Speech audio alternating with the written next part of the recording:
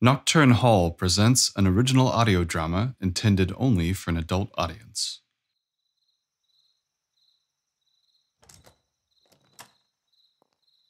Phillip! Damn, it's freezing. Phillip! Oh, Mm. there you are. What are you doing down there, silly goose? Oh, never mind. Mm. Come inside. Mm. You'll freeze out here. When the fountain stopped, I heard gentle strumming. Love, it's 30 degrees. The fountain was never on. Shh. She's at it again. Can't you hear those tender plucks of gold? You've had quite a night. Time for rest. Where they gather, the ladder must be near. You won't find it sitting down. Let me help you to your feet. My, your hands are ice. Climb with caution. Prudent.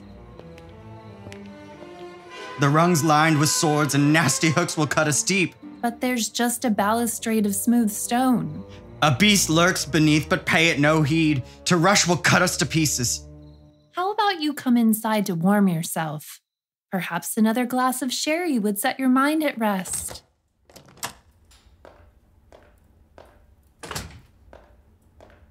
Have a seat near the radiator, and I'll make you that drink.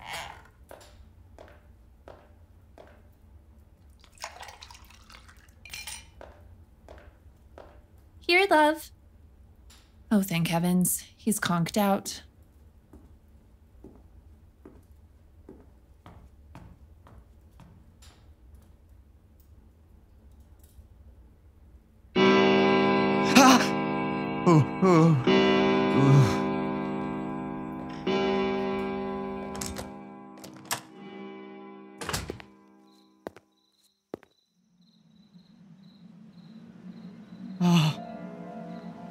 What marvelous light.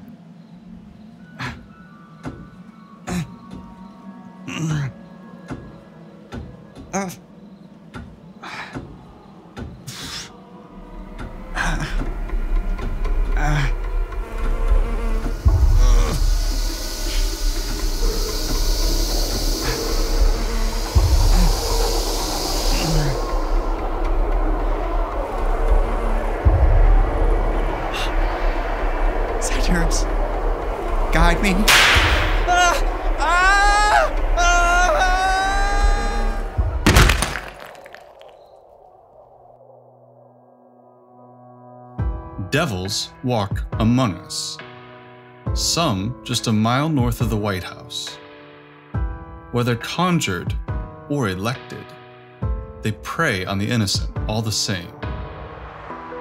Most won't even listen, so folks knock on the one door in the District of Crime who will.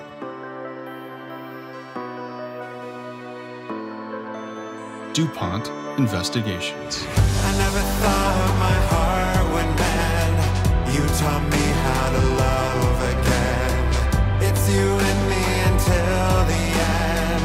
Oh, we'll paint this whole town red. Just the devils, the devils of DuPont. Just the devils, the devils of DuPont. This is The Scourge from Carthage, Part 1. It's open. Mr. Somersby? You're not from CMP, CNP. Chesapeake and Potomac, the telephone company. You must not be from around here either. Wait, you're not another blasted reporter. No, sir, I'm Nigel Clemmons, a claims investigator with Zegma Insurance. Although I admit the story from the papers is why I'm here. You look familiar. Have we met before? I don't believe so. Come into my office. Would you like a drink, Mr. Clemmons? All I've got is bourbon.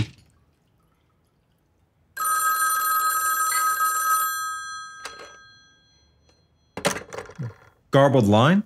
No, works just fine. Still, I'm having it disconnected after the Evening Star ran its gem of a story. Here you are.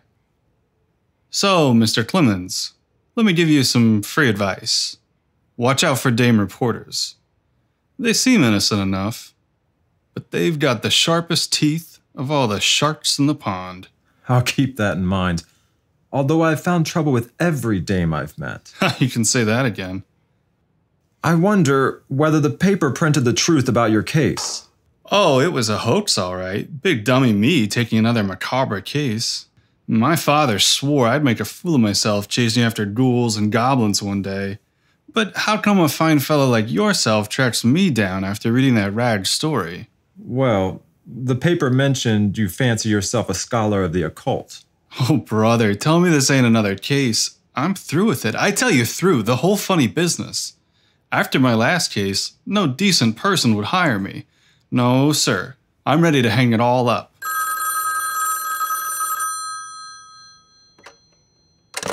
You see? But those might be new clients calling. Clients, schmiants. I'm through with a lot of them. Most are rich buffoons trying to investigate the family fortune teller. Long gone are the serious clients, and you can forget anyone from the Hill reaching out again. All the rats in Congress are getting tailed by my competitors. Sorry to hear about your dry spell. But I assure you, I have every interest in this case remaining out of the newspapers. Which outfit did you say you're with again? Zegma Insurance. Zegma? Never heard of it. Our office is in Zegma, North Carolina. Oh, that's Zegma. Sure, I read the new Empire State Building is just a scaled up version of your big building downtown. They say yours is the tallest building south of Baltimore. The Steeples Tobacco Building. You don't sound like a Tar Heel. I'm from Richmond. My pa got a job in Zegma when I was in the 10th grade. Lured by the Steeples operation? Like most folks in Zegma. I can imagine. I suppose you know what kind of breed that plump white cat is from all their advertisements. It's a Turkish Angora. Ah, but Mr. Steeples is the true fat cat. It just so happens I'm investigating the death of Phillip Steeples. The old man? No, his son. I hadn't heard he died. No, th- thus far, I've managed to keep it out of print. Well, that's quite a trick. It cost a small fortune, but the Steeples family can afford it. So you're in touch with the family. Indeed. My trouble is, the case is unusual. You're gonna have to give me more than that. Are you familiar with the Spanish Steps in Kalorama? Sure, what about them? They found Phillip Steeples' body on the pool patio of an adjacent house. It seems he fell from the roof and died from a harsh, blunt injury to his head. The trouble is, the medical examiner won't rule out foul play. What does his policy say about murder? I thought double indemnity is paid out all the same for murder or accident. But not for suicide or the decedent's gross negligence. Still, none of that's in play. How come? He didn't have a life insurance policy. Then why the devil are you working the case? Ah, let me guess. The family wanted someone they trusted, so they tapped their local insurance investigator as their PI. I've taken the odd case from them whenever hired muscle couldn't get results. But when the news of Phillip arrived, they recalled how we used to be friends. Used to be? He survived a nasty accident, but was never the same after. The family struggled to restore him to his former self, but his recovery proved complicated. Although his wounds healed, he feared the pain would return. Ultimately, he withdrew from the family, slipping away to Washington. So they're paying you by the day or what? So far, just expenses. But Mr. Steeples isn't stingy. After Phillip left home, the family took out a liability policy on him. They feared he might hurt someone. Sure, perhaps in another reckless driving incident. But the only one he hurt was himself. So it seems. Well, at least your company won't have to pay out on his policy. Mr. Somersby. Please call me Torsten. Well, Torsten, I'm out of my depth in our nation's capital, and the Steeples are expecting answers. And you haven't got any. Just a few clues. Well, whose house was it where dear Phillip took the plunge? It belongs to Judge Kraus from the municipal court, but he and his wife are still vacationing in Portugal. So, what do you figure the heir to a tobacco baron was doing there? That's one of several remaining mysteries. Did you visit the scene? It was my first stop. I can't say there was anything out of the ordinary, except he died on the wrong side of the property. Was there a right side to die on? Of course not. It's just that one could access the fourth floor via a stairwell. There's a rooftop gazebo and a terrace, but it opens facing south. The Codman house is below, so we're talking a five or six story drop. But he fell on the north side. Right, but the northernmost roof line is aligned with the lower third floor, so not all that great of a height from which to fall. I'd estimate around a 30 foot drop. I see. So he did fall on the wrong side. It usually takes four stories for a lethal fall. But if he struck his head and bled out, That's the peculiar part. It seems he fell from a great height. could he have crawled up and fallen? There wasn't a trellis or anything simple to climb, but I mean, he fell from a height considerably higher than that of the roof. I don't understand. The body wasn't there when I arrived, just a chalked outline and smashed patio bricks. You telling me he smashed apart the bricks from less than four stories? Why, that is peculiar. We're still awaiting the medical examiner to complete his autopsy, but the detective who responded to the call reported upon the ME's initial inspection, he determined most of Phillip's bones were broken. Who phoned it in? Someone's dog sniffed out the body around 6 in the morning. He kept barking his head off till the owner climbed the ivy to peek over the high cement fence. Smart pooch. Once they saw the body, they came to the front and rang the bell. But no one answered, so they went down the Spanish Steps and used the call box at Decatur and 22nd to reach the authorities. How'd they identify him?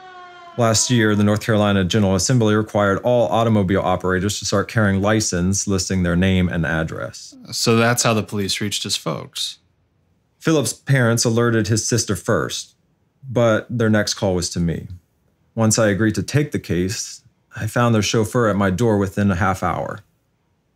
They reserved my train tickets at Raleigh Union Depot, but by the time I had finally arrived in Washington, Phillip was on a slab. Who identified the body? I volunteered. For all his injuries, he was still the personable face I had known growing up. Just lifeless. Are his folks on their way? No, the Steeples are too distraught to make any journey at the moment. They requested Phillip's body returned to Zegma once the medical examiner releases it. So they tasked you with settling his affairs too? No. His sister and her husband took the train down from New York this afternoon. They should be at the Mayflower by now, Awaiting some answers. and I've got few to offer them. Ugh, care for another drink? Now, you said the dog owner hadn't any luck ringing the bell, but did Judge Krause have any staff? Someone must have given Phillip access to the premises. There wasn't a maid or gardener on the scene when a beat cop let me through to the pool patio. If they have staff, perhaps they took leave at the same time as the Krauses. About this pool, could he have tried to dive in and missed? No one in their right mind would try it. Was he a sound mind? Well, by the look on your face, I'd say you harbor some doubt. I'd be indebted to you if you could assist me with this case. No, you'd be in debt because I don't do favors, Nige. Look, I'll pay you two C notes if you come with me to his room at the Cairo Hotel. I stopped there just before I came to see you. I'm out of my depth. It wasn't the room of the young man I once knew. It's a goddamn oddball hoard. Hmm, interesting. I've been called an oddball before. Maybe Phillip and I had something in common. That's why I'd like you to take a look. Then there's more dough if you discover anything worth mentioning to Miss Barr. That the Steeples dame? Lila, Lila Barr. Who am I to turn down a gig?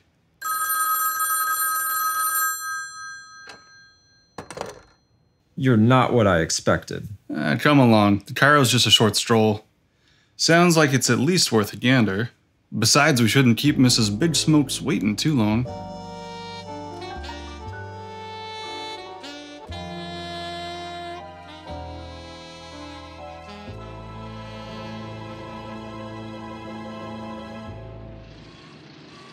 So I gotta ask that case of yours, You sure you ain't a reporter? come on, one investigator to another.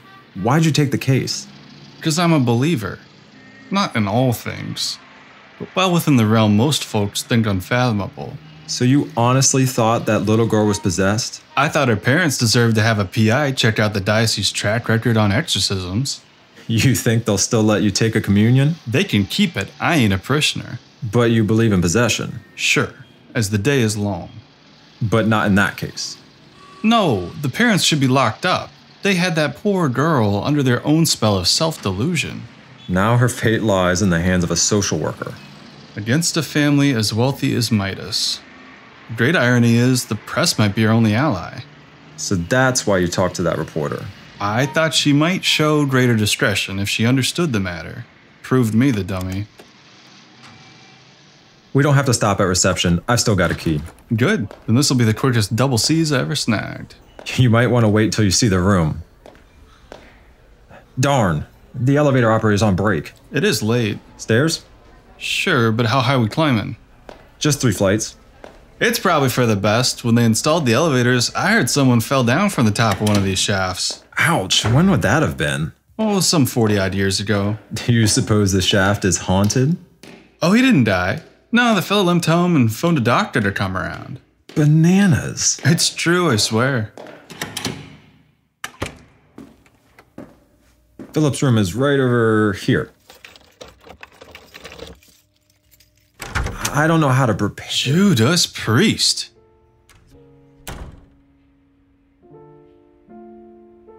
He's been in Washington just shy of a year, but he managed to collect quite a library.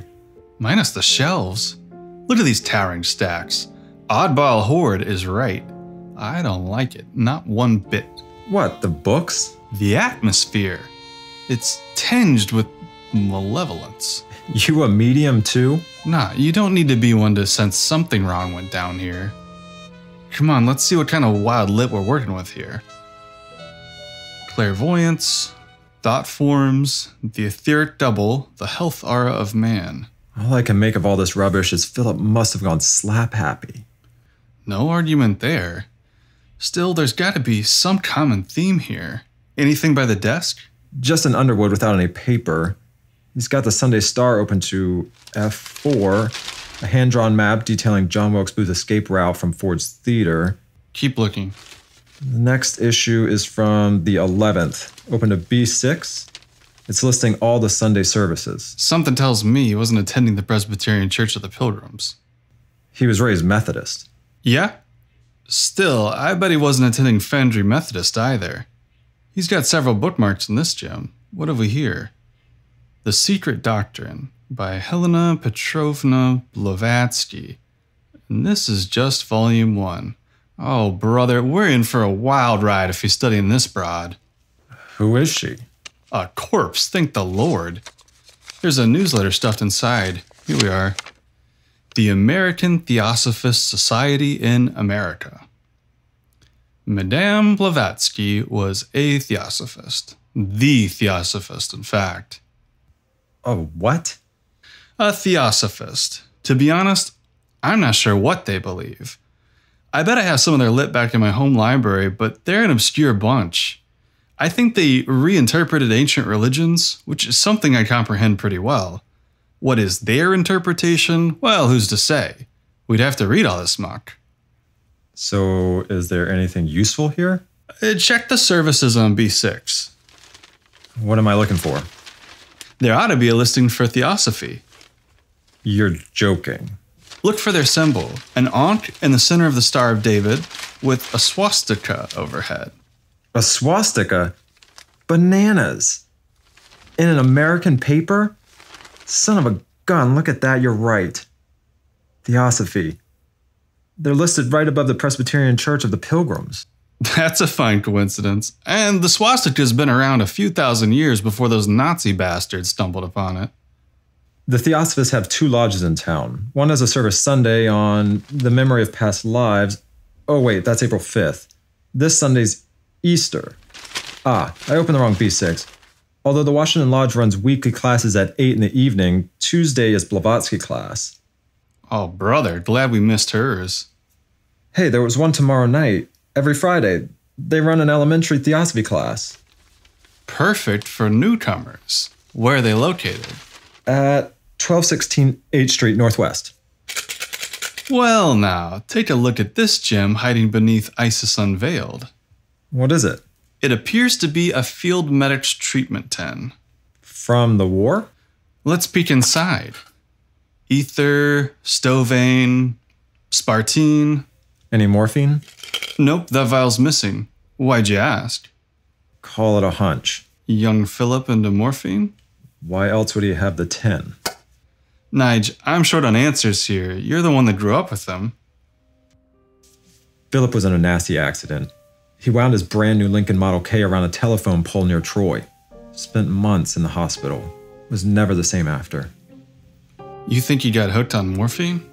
Could be. I know he began acting erratic after his discharge. I didn't see much of him back then. But it wasn't long before he left home. That when his folks came around to take out the liability policy. I see. Neat coincidence.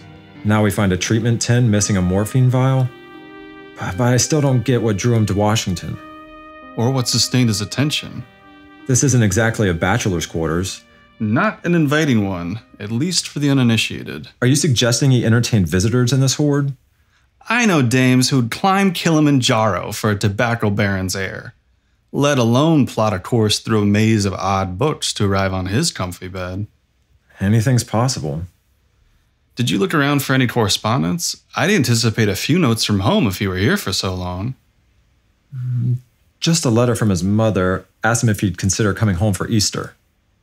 He'll be home all right, but not the way she envisioned. A telegram was sent Monday from the Belvedere Hotel in Baltimore. It says, called but no answer, ring yes or no, holding package. No sign of a response. Odd for a man to toss out all of his correspondence. Oh, Phillip was always very secretive. Learned it from his father. Men learn all manners of sin from their fathers.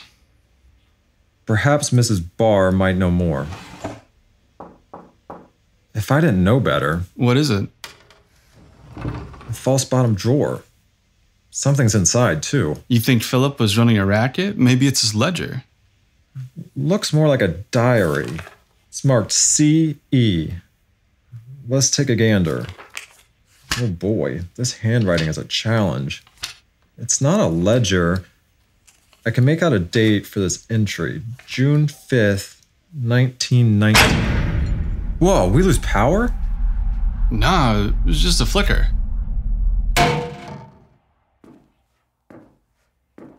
Christ, I think that was a raven.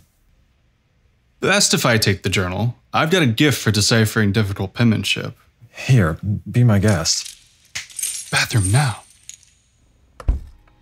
Who's that? I thought you had the only key. I do. At least, I thought I did. You got a piece on you? Never, do you? Give me the toilet paper roll. What?